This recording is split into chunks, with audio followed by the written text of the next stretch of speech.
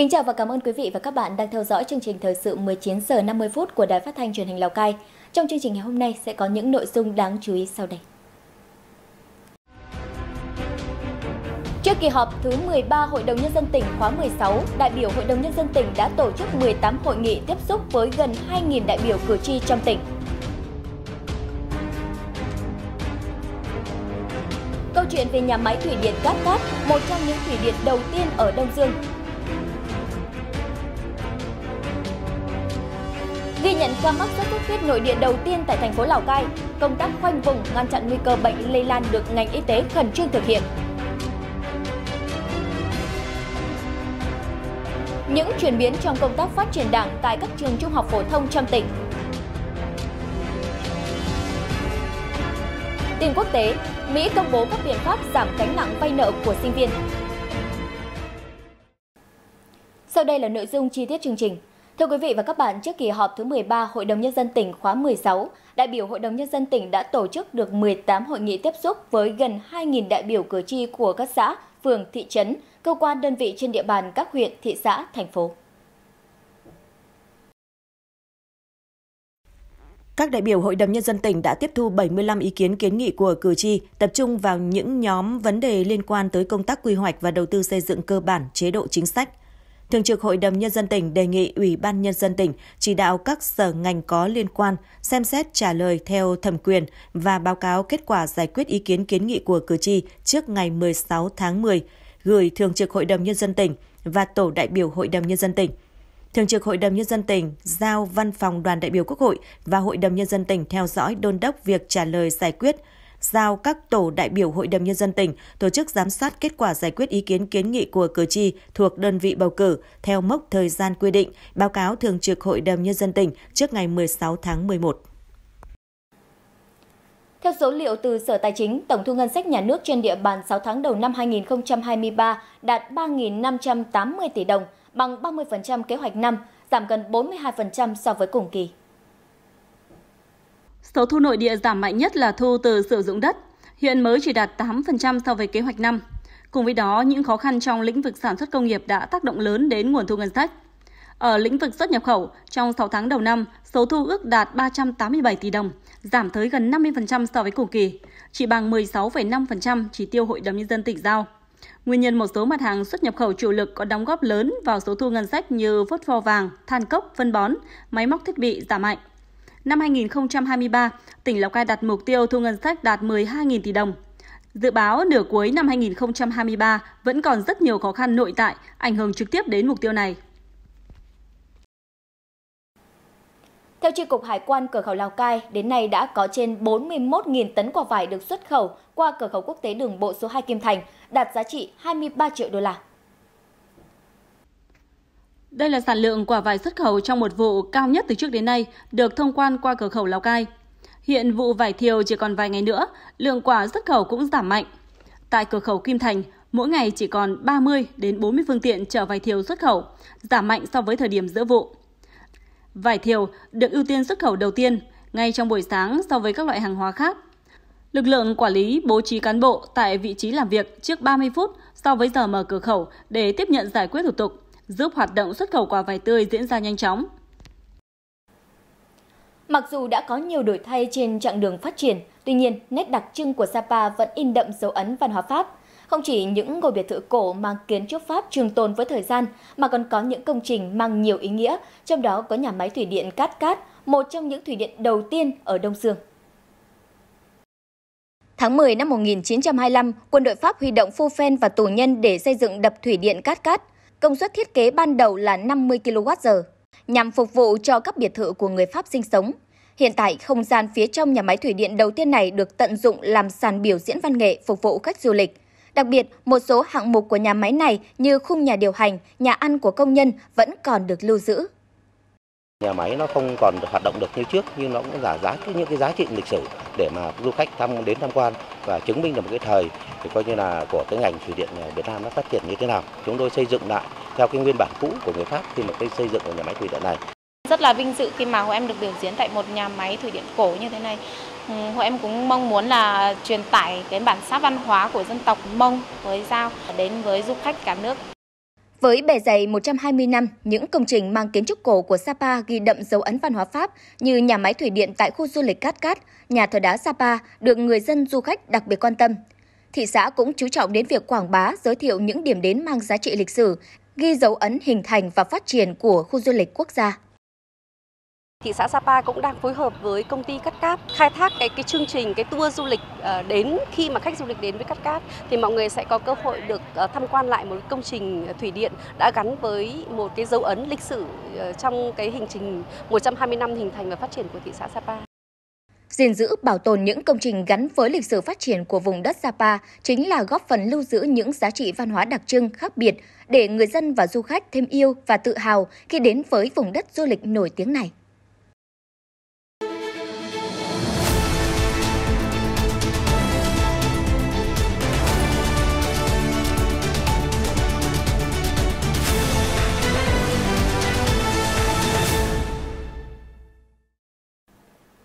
Thưa quý vị và các bạn, theo báo cáo nhanh của Trung tâm Y tế thành phố Lào Cai, ngày 29 tháng 6 đã ghi nhận một trường hợp mắc sốt xuất huyết. Đây là ca bệnh đầu tiên mắc sốt xuất huyết tính từ đầu năm và cũng là ca đầu tiên mang tính chất nội địa tại tỉnh Lào Cai. Công tác khoanh vùng, ngăn chặn nguy cơ bệnh lây lan được ngành y tế khẩn trương thực hiện. Bệnh nhân là nữ, sinh năm 1935 ở tổ 14, phường Pom Hán, thành phố Lào Cai. Ngày 26 tháng 6, bệnh nhân có biểu hiện mệt mỏi, sốt, được gia đình đưa đến Bệnh viện Đa khoa tỉnh Lào Cai. Tại đây, bệnh nhân được khám và điều trị nội trú, thực hiện xét nghiệm test nhanh kháng nguyên cho kết quả dương tính với bệnh sốt xuất huyết. Ngày 30 tháng 6, tiếp tục thực hiện xét nghiệm bằng phương pháp ELISA tìm virus dengue cho kết quả dương tính. Kiểm tra đến bà sốt nhẹ, tôi đưa bà ra ngoài bệnh viện này 500 thì các bác sĩ ờ, soi chụp chuẩn đoán là bà bị xuất xuất huyết hiện tại sức khỏe bà có như riêng ờ, bà vẫn còn mệt nhiều mới ờ, sốt thì vẫn còn sốt 37 độ 5 từ trường hợp bệnh nhân đầu tiên mắc sốt xuất huyết, Trung tâm Kiểm soát Bệnh tật Lào Cai đã giám sát dịch tễ học. Kết quả không ghi nhận các trường hợp mắc tương tự trong gia đình và các hộ gia đình xung quanh, không phát hiện yếu tố xâm nhập bệnh đến từ nơi khác. Bước đầu nhận định là ca bệnh sốt xuất huyết nội địa. Để kịp thời khoanh vùng, ngăn chặn bệnh lây lan, Trung tâm Kiểm soát Bệnh tật tỉnh phối hợp cùng Trung tâm Y tế thành phố, trạm y tế, phường Bom Hán triển khai đồng bộ các biện pháp phòng chống dịch như giám sát côn trùng trung gian truyền bệnh, giám sát ca bệnh, người tiếp xúc, thực hiện các biện pháp tiêu diệt muỗi, loang quăng, bọ gậy. Chúng tôi bắt vector muỗi là về là, là chủ yếu là, là để định loài. Loài khi mà phân được loài để xem là cái loài đó nó có là cái loài trực tiếp hay là gián tiếp là cái nguồn lây từ nhà có, có ca bệnh này chúng tôi sẽ đi bắt và khoanh vùng 200 mét tìm vector. Theo Bộ Y tế, trong những tháng đầu năm 2023, dịch bệnh sốt xuất huyết tăng gấp đôi so với cùng kỳ năm trước và đã ghi nhận ca tử vong. Tại Lào Cai, đây là ca bệnh đầu tiên tính từ đầu năm và mang tính chất nội địa. Để phòng bệnh cho bản thân, gia đình và cộng đồng, ngành y tế khuyến cáo người dân cần tăng cường thực hiện các biện pháp phòng bệnh như loại bỏ các vật liệu phế thải, các hốc nước tự nhiên, đậy kín tất cả các dụng cụ chứa nước, không cho muỗi vào đẻ trứng, chủ động diệt muỗi, loang quăng, bọ gậy, ngủ màn, mặc quần áo dài phòng mũi đốt ngay cả ban ngày. Đồng thời tích cực phối hợp với ngành y tế trong các đợt phun hóa chất phòng chống dịch. Ngày 1 tháng 7, Công an thành phố Lào Cai tổ chức hội nghị tuyên truyền pháp luật về an toàn giao thông, ký cam kết đảm bảo an toàn giao thông đối với các công ty shipper và nhân viên shipper đang hoạt động trên địa bàn thành phố. Tại hội nghị, đội cảnh sát giao thông trật tự công an thành phố Lào Cai tuyên truyền những nội dung cơ bản của luật giao thông đường bộ, các lỗi mà shipper thường xuyên vi phạm như chạy quá tốc độ, vừa điều khiển phương tiện vừa sử dụng điện thoại chở hàng công cành, đồng thời hướng dẫn lại việc chấp hành đèn tín hiệu giao thông, đi đúng phần đường khi đi vào vòng xuyến và tốc độ quy định trên các tuyến đường. Công an thành phố Lào Cai cũng đã tổ chức cho 10 công ty shipper và gần 300 nhân viên của các công ty thực hiện ký cam kết chấp hành đầy đủ các quy định của pháp luật về an toàn giao thông, ứng xử có văn hóa khi tham gia giao thông, đi đúng phần đường làn đường quy định, chấp hành quy định về tốc độ, không sử dụng điện thoại di động, chở hàng công cành khi tham gia giao thông. Đêm 30 tháng 6, dạng sáng ngày 1 tháng 7, một số hộ dân ở xã Trung Trải, thị xã Sapa đã phát hiện cá tầm chết hàng loạt. Hiện tượng cá tầm chết xảy ra tại ba trại nuôi của 10 hộ gia đình trong thôn Vù Lùng Sung, xã Trung Trải. Theo các hộ dân, số cá bị chết khoảng 2 tấn, trung bình mỗi con cá mới đạt trọng lượng dưới 1 kg. Hiện các cơ quan chức năng của thị xã Sapa và Chi cục chăn nuôi và thú y tỉnh đang phối hợp điều tra, lấy mẫu nước, mẫu cá để làm rõ nguyên nhân cá tầm của 10 hộ dân chết hàng loạt. Trước hết, cá chết sẽ phải thu gom, xử lý để đảm bảo vệ sinh môi trường, đảm bảo không gây ô nhiễm nguồn nước tại địa phương.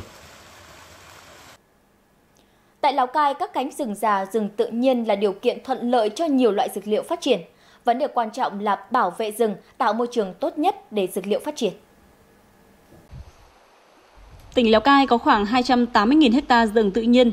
Riêng chè dây đang phân bổ trên diện tích khoảng 35.000 ha.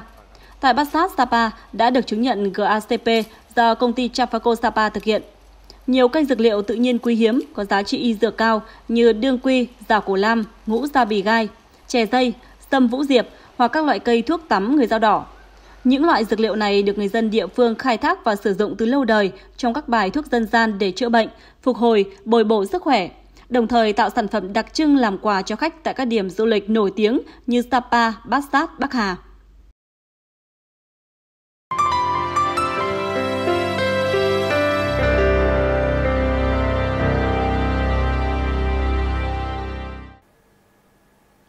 Kỳ thi tốt nghiệp trung học phổ thông năm 2023 vừa kết thúc, khóa học sinh lớp 12 bắt đầu một hành trình mới với những ước mơ hoài bão. Hành trình ấy sẽ càng ý nghĩa hơn với những học sinh ưu tú được vinh dự đứng vào hàng ngũ của Đảng ngay khi còn trong trường trung học phổ thông. Tuổi 18 trở thành một dấu son đáng nhớ để các em tiếp tục rèn luyện, phấn đấu và xây dựng tương lai. Tham gia xây dựng, bảo vệ đường lối, chính sách và tổ chức của Đảng, phục tùng kỷ luật, giữ gìn đoàn kết, thống nhất trong Đảng, thường xuyên tự phê bình và phê bình, trung thực với Đảng, làm công tác phát triển đảng viên, sinh hoạt Đảng và đóng đảng phí đúng quy định. Xin thề, xin thề, xin thề. 7 năm học nội trú, Vừa Thị Sấy đã nỗ lực hết mình để đạt được những thành tích trong học tập và hoạt động đoàn thể. Và ngày hôm nay được trở thành đảng viên Đảng Cộng sản Việt Nam ngay khi còn là học sinh trung học phổ thông.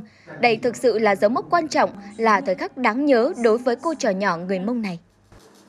Em cảm thấy rất vinh dự, tự hào khi mà có thể trở thành à, đứng trong hàng ngũ của Đảng, trở thành đảng viên của Đảng Cộng sản Việt Nam. Bố mẹ em ờ, luôn ờ, ủng hộ việc học tập và được và khi mà đi học mà nhìn thấy những người bạn của mình ờ, phải về nhà lấy chồng sinh con thì đấy em cảm thấy rất là thương những bạn đấy và đấy là một cái động lực để mình phấn đấu Năm học 2022-2023, trường phổ thông dân tộc nội trú, trung học cơ sở và trung học phổ thông huyện Bát Sát bồi dưỡng 10 đối tượng đảng là học sinh cấp trung học phổ thông, đa phần là con em đồng bào dân tộc thiểu số, là những học sinh ưu tú, toàn diện nhất.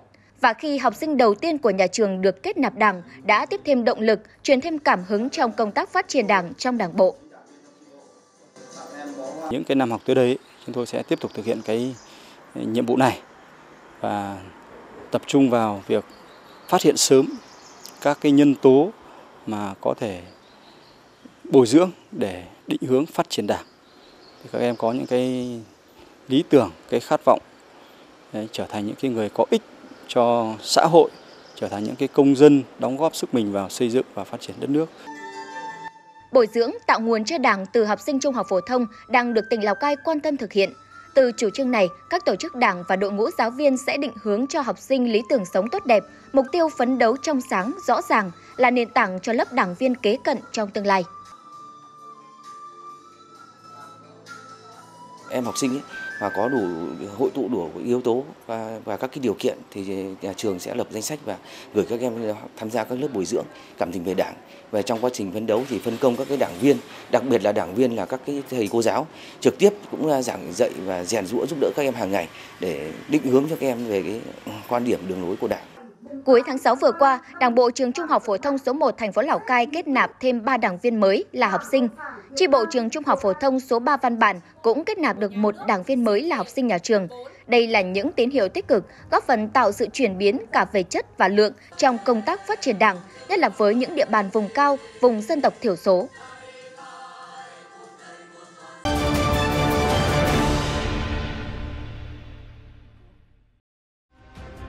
Tiếp tục chương trình, dư nợ cấp tín dụng xanh của ngân hàng tăng trưởng nhanh. Khu hành chính đặc biệt Hồng Kông kỷ niệm 26 năm ngày trở về với Trung Quốc. Thưa quý vị và các bạn, kể từ ngày 1 tháng 7, Tổng công ty Đầu tư Phát triển Đường cao tốc Việt Nam VEC tiến hành điều chỉnh mức giá sử dụng dịch vụ đối với 4 tuyến đường cao tốc. Cụ thể, VEC điều chỉnh mức giá sử dụng dịch vụ bao gồm thuế suất thuế giá trị gia tăng từ 10% giảm xuống 8% đối với 4 tuyến đường cao tốc hiện đang quản lý khai thác. Về lý do điều chỉnh, theo lãnh đạo VEC chính là việc triển khai Nghị định số 44 ngày 30 tháng 6 năm 2023 của Chính phủ quy định chính sách giảm thuế giá trị gia tăng theo Nghị quyết số 101 ngày 24 tháng 6 năm 2023 của Quốc hội. Các tuyến cao tốc được VEC điều chỉnh mức giá dịch vụ kể từ ngày 1 tháng 7 bao gồm cao tốc Nội Bài Lào Cai, Cầu Rẽ Ninh Bình, Đà Nẵng Quảng Ngãi, Thành phố Hồ Chí Minh Long Thành Dầu Dây. Thời gian áp dụng tính đến hết ngày 31 tháng 12 năm 2023. Trong 5 năm trở lại đây, số lượng các tổ chức tiến dụng tài trợ cho các dự án xanh đã tăng hơn 2,5 lần. Theo Ngân hàng Nhà nước, hiện đã có tới 40 tổ chức tín dụng cấp vốn xanh với tốc độ tăng trưởng tín dụng đạt hơn 20% một năm. Dư nợ tín dụng xanh hiện đạt hơn 500.000 tỷ đồng, chiếm trên 4% tổng dư nợ của nền kinh tế. Tín dụng xanh tập trung chủ yếu vào lĩnh vực năng lượng tái tạo, nông nghiệp sạch hay các doanh nghiệp quan tâm tới các yếu tố môi trường, xã hội và quản trị doanh nghiệp trong sản xuất kinh doanh. Tín dụng xanh thường có mức lãi suất cho vay thấp hơn từ 0,5 đến 1% một năm so với thông thường. Để có được nguồn vốn giá rẻ, ổn định trong trung dài hạn, các ngân hàng đã đẩy mạnh huy động vốn quốc tế, tìm kiếm sự hợp tác từ các tổ chức tài chính lớn trên thế giới. Ngoài xuất khẩu, nông dân tỉnh Bắc Giang còn đẩy mạnh tiêu thụ vải thiều trong nước thông qua các sàn thương mại điện tử, đặc biệt thông qua livestream trên mạng. Hiện mỗi ngày các hợp tác xã và các hộ dân đã tiêu thụ hàng trăm hộp loại từ 5 đến 10 kg qua kênh trực tuyến. Trên bao bì sản phẩm có gắn tem truy xuất nguồn gốc, người tiêu dùng có thể xem nhật ký điện tử về quá trình chăm sóc, thu hoạch vải thiều bằng cách quét mã vạch. Chủ nhật vừa qua, trong vòng 4 giờ, các TikToker đã livestream bán được gần 50 tấn vải thiều. Năm nay, sản lượng vải thiều của tỉnh Bắc Giang ước đạt 180.000 tấn. Đến thời điểm hiện tại, tỉnh đã tiêu thụ được trên 80%. Giá vải thiều trung bình từ 15.000 đến 30.000 đồng một kg tùy theo chất lượng. Việc đa dạng các hình thức bán hàng đã giúp Bắc Giang tiêu thụ sản phẩm vải thiều thuận lợi và được giá, dù năm nay quả vải được mùa. 6 tháng đầu năm 2023, Bộ đội Biên phòng cả nước đã đấu tranh thành công 45 chuyên án, bắt 594 vụ cùng 865 đối tượng, thu giữ gần 430 kg ma túy các loại. Tính riêng trong tháng 6, tháng cao điểm, lực lượng phòng chống ma túy Bộ đội Biên phòng đã thực hiện 35 chuyên án, bắt 168 vụ cùng 266 đối tượng, thu giữ hơn 55 kg ma túy và nhiều tăng vật khác là phương tiện vận chuyển, phương tiện liên lạc. Ngoài lực lượng bộ đội biên phòng, hoạt động đấu tranh triệt phá các vụ án ma túy trên các tuyến biên giới và vùng biển còn có sự phối hợp với cảnh sát phòng chống ma túy của Bộ Công an, lực lượng hải quan và các lực lượng khác trong quân đội như cảnh sát biển.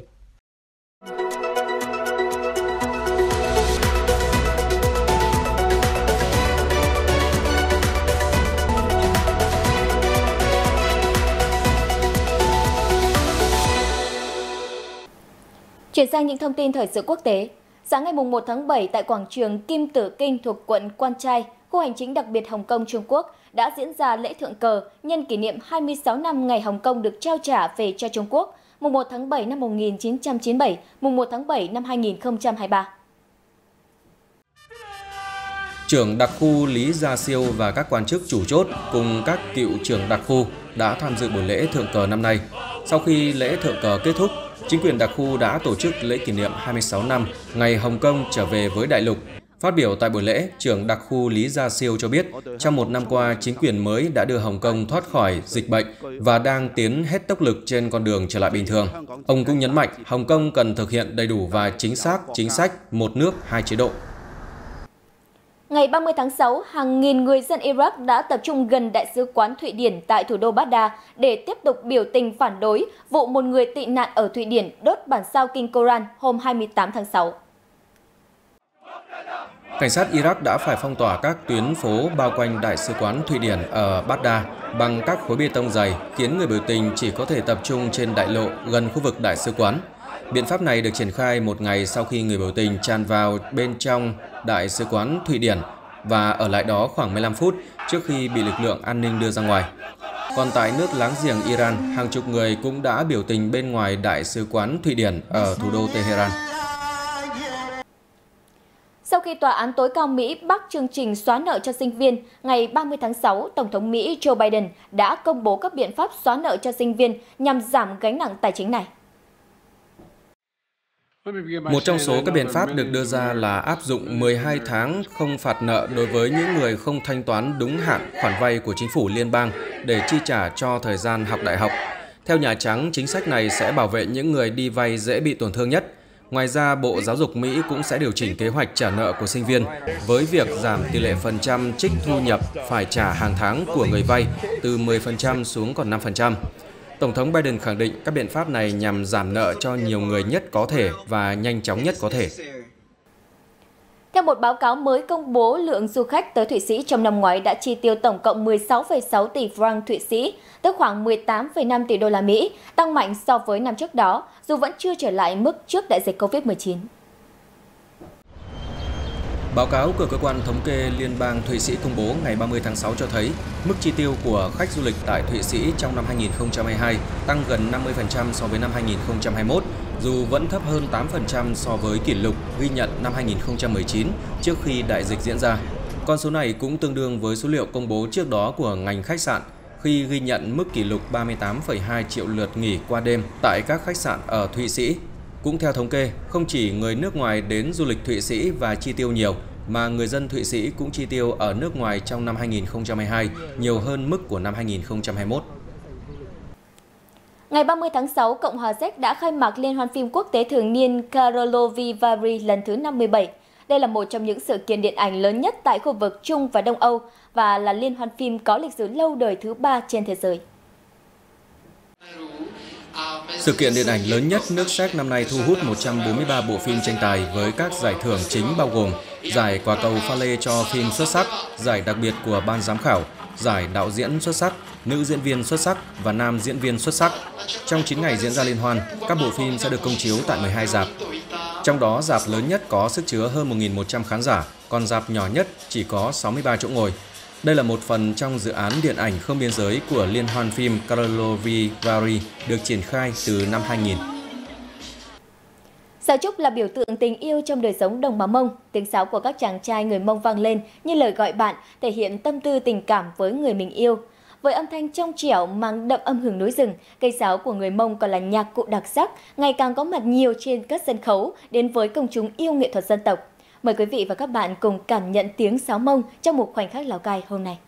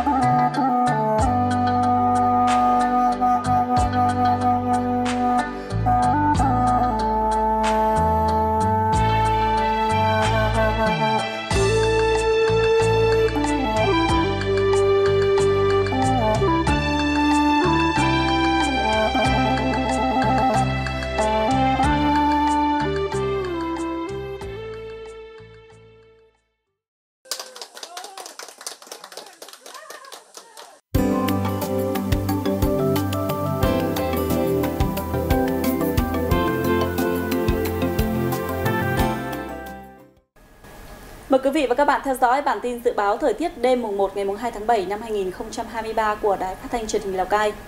Thưa quý vị và các bạn, Đài khí tượng thủy văn tỉnh Lào Cai cho biết, do chịu ảnh hưởng của vùng áp thấp nóng phía Tây hình thành và phát triển, một số địa phương vùng thấp của Lào Cai đã xảy ra nắng nóng nhẹ cục bộ, sau nắng nóng gia tăng về cường độ và lan ra diện rộng. Ngày 1 tháng 7, nhiệt độ cao nhất các địa phương đồng loạt tăng lên mức đỉnh điểm cho đợt nắng nóng hiện đang diễn ra. Vùng thấp lên tới 36 đến 38 độ C, vùng cao trong khoảng 30 đến 32 độ C, thị xã Sapa là 25 đến 27 độ C. Đến ngày 2 tháng 7, nhiệt độ ở Lào Cai có thể suy giảm nhẹ. Tuy nhiên, đợt nắng này chưa có dấu hiệu chấm dứt, khả năng còn kéo dài trong nhiều ngày tới. Dự báo đêm nay và ngày mai, các khu vực trong tỉnh tiếp tục chịu ảnh hưởng của rìa đông nam vùng áp thấp nóng phía Tây tiếp tục phát triển và mở rộng dần về phía đông nam, kết hợp vùng hội tụ gió yếu trên cao. Nên thời tiết các khu vực trong tỉnh mây thay đổi, ngày trời nắng, vùng thấp nắng nóng, đêm có mưa, mưa rào rải rác và có nơi có rông, vùng cao đêm về sáng trời lạnh. Còn sau đây là dự báo chi tiết cho các địa phương trong tỉnh.